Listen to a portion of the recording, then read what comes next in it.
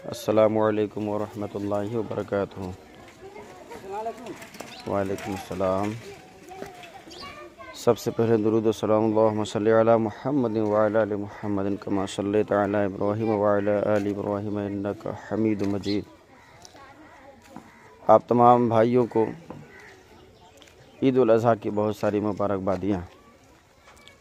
आप हजरात को ईद ईद बहुत बहुत मुबारक हो। आज ईद का दिन है और हम ईद के लिए निकले हैं।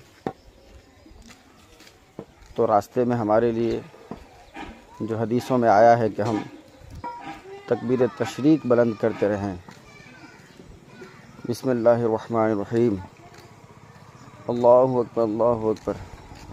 ला इल्लल्लाह, वल्लाहु अकबर, अल्लाहु अकबर वलिल्लाहिल हम्द अल्लाह अकबर अल्लाह अकबर ला इलाहा इल्लल्लाह वल्लाहु अकबर अल्लाहु अकबर वलिल्लाहिल हम्द अल्लाहु अकबर अल्लाहु अकबर ला इलाहा इल्लल्लाह वल्लाहु अकबर अल्लाहु अकबर वलिल्लाहिल हम्द अल्लाहु अकबर अल्लाहु अकबर ला इलाहा इल्लल्लाह वल्लाहु अकबर अल्लाहु अकबर वलिल्लाहिल हम्द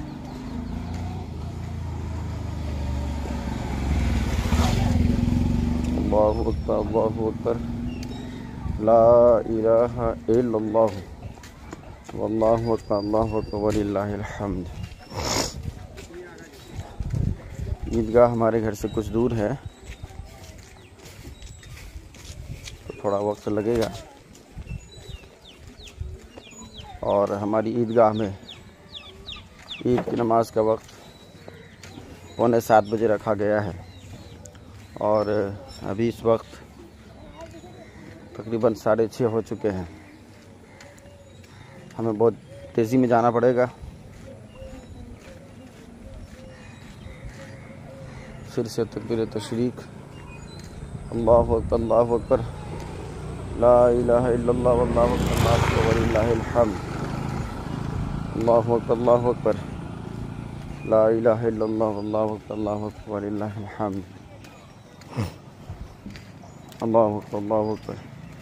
ला इलाहा इल्लल्लाह वल्लाहु अकबर अल्लाहु अकबर वलिल्लाहिल हम्द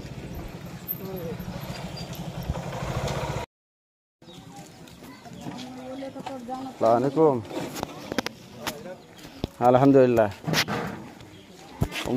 अल्लाह अकबर ला इलाहा इल्लल्लाह वल्लाहु अकबर अल्लाहु अकबर वलिल्लाहिल हम्द अलैकुम अल्हम्दुलिल्लाह अल्लाहु अकबर अल्लाहु अकबर ला इलाहा इल्लल्लाह अल्लाहु अकबर अल्लाहु अकबर वलिल्लाहिल हम्द अल्लाहु अकबर अल्लाहु अकबर ला इलाहा इल्लल्लाह वल्लाहु अकबर अल्लाहु अकबर वलिल्लाहिल हम्द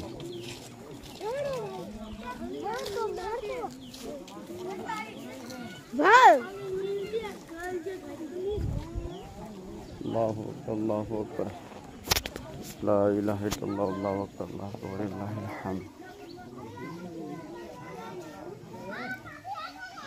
वलिल्लाहिल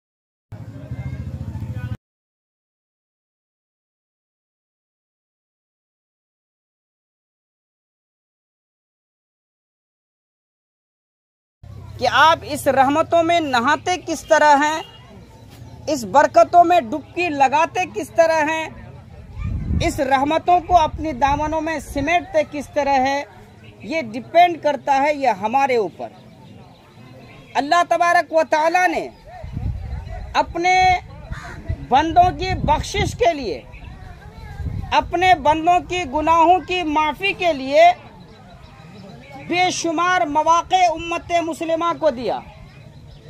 हर मौके की अपनी जगह पे एक एक अहमियत है, एक एक अफजलियत है, एक बरकतें हैं। उन्हीं मौक़ों में से एक ईद अजहा भी है, आज का दिन भी है। हम जितनी नेकियाँ करें, जितनी इबादतें करें